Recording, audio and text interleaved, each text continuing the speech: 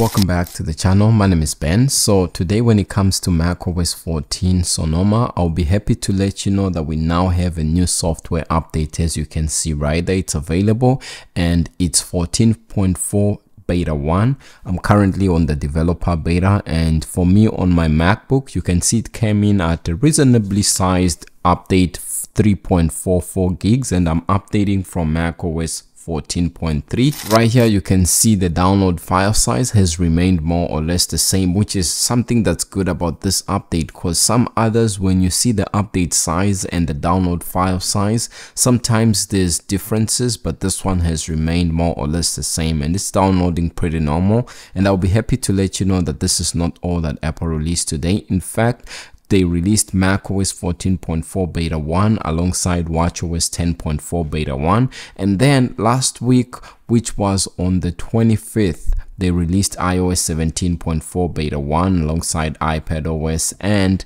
they also released tvOS alongside that. So macOS and watchOS came a few days later, but it's good that we have this update. And now I'm just quickly going to finish the update and then we're going to see what are the new features and changes this update has to offer. Boom. So just like that, we are now up to date and already just looking at the background and if you are observant, you can see that we've already had the first change with this update which I'll highlight shortly.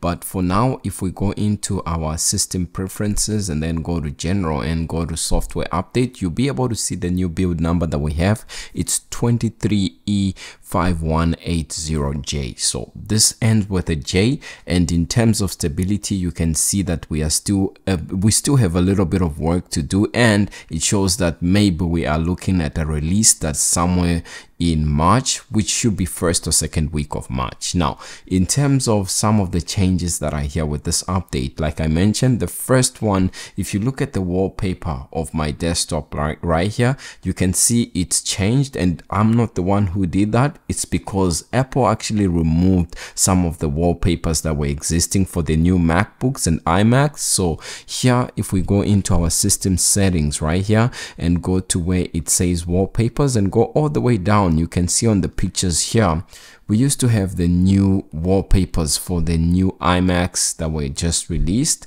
and we also had the new MacBook Pros that the black wallpaper which I also had before but you can see now after updating this has all been removed. And uh, I don't know why but this has happened before even with macOS 14.3 and then before the update came out to the public they actually brought them back. So we'll see whether that's going to be the case here with this update. But for now maybe we'll try something different like this. If you press control command and spacebar. You can see it opens up your emoji tab here. And what i want to show you here are the new emojis that are here with mac os 14.4 so right here you can see when i click on this one it's showing this emoji and head shaking vertically. So it's like you shaking your head like this to say yes or you know in agreement to something and then this one shaking head horizontally. So it's basically this emoji like this. And there's other emojis too that have been added. For example if you go to where it says uh, food and drinks right here you can see we have this new lime emoji that has been added. We also get a mushroom among a few others. And then if you go to the symbols right here you notice some updated icons icons here when it comes to like family. So this one is showing adult adult child and then this one is adult adult child child and then this one is adult child and then this one is adult child child emojis. So those icons have been added among a few others that are here and once this update comes out you'll be able to see it for yourself. After updating you can see i was greeted by a new pop-up screen for podcast. It doesn't seem to mention what's really changing here but if you click there you can see oh it comes back again. So maybe that's a glitch but let me click continue again just to see. Okay this time around it didn't come back again but if i play this podcast right here you can see if I was to go to the now playing tab the overall aesthetic has been updated slightly. And then this tab too that you see here has been updated and overally it's just wording changes and it's trying to look more like apple music which i don't know why but at the same time if you open up your apple music application i just want to show you some of the music changes. It opened up on my main monitor but you can see here this tab that used to be called listen now on your apple music if you're still on mac os 14.3 this is still called listen now but now on the latest mac os 14.4 it's now been reverted to home and now if you go into the browse section you'll be able to see the listen now tabs and different section as well as well as your top list. So very minor changes here.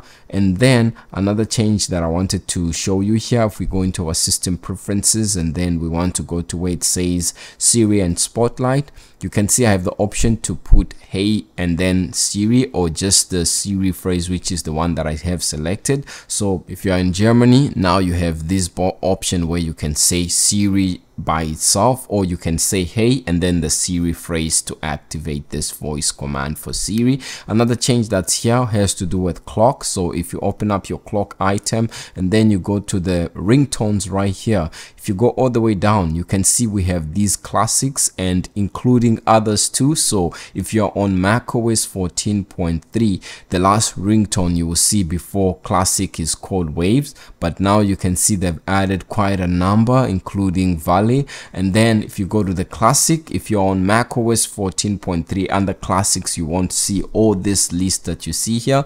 And you can see you can be able to scroll up and down with macOS 14.4 beta 1 because they've added all the classics and uh, thanks to the porting over from iOS as well. And these are all ringtones that you can check out should you want to use the timers. In terms of some of the fixed issues with this update the first one well the main one actually has to do with Finder. So for example if you wanted to open new tabs or tiling in Finder like this there was an issue where it would crash. But now with this update update that has been resolved but since this update is still in beta it still has a number of issues that are ongoing. So for example the first one i noticed is when preparing to install the update it took longer than anticipated than the previous mac os 14.3 and then if you're on an intel based mac this weather application is experiencing crashing issues. So if you rely on this then you definitely shouldn't update. And in your messages application if you use third-party emojis or stickers.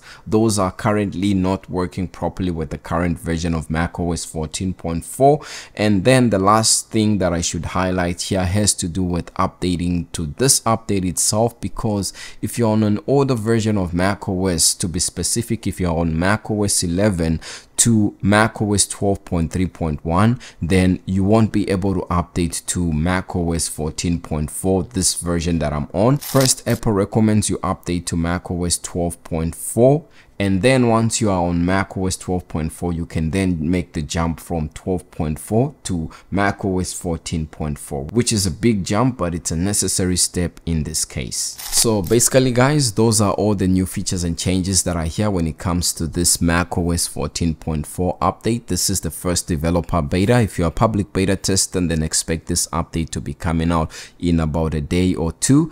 And whether you are thinking if you should be updating or not if you are updating your main device then I highly discourage for you from doing that because it's highly unstable. It has a number of issues. Even the OS has hiccups doing the installation, preparing I I already saw a number of hiccups so it's already unstable and if you have maybe a backup device that you wanna toy around and play around with that could be an update for you to try but so far we still have a long way to go. And in if you are thinking of when this update is going to be released i would say first week of march or second week of march. That's the time that that's the timeline that we are looking at. But other than that that's about it for me. Leave a like and subscribe and i'll see you in the next video. Peace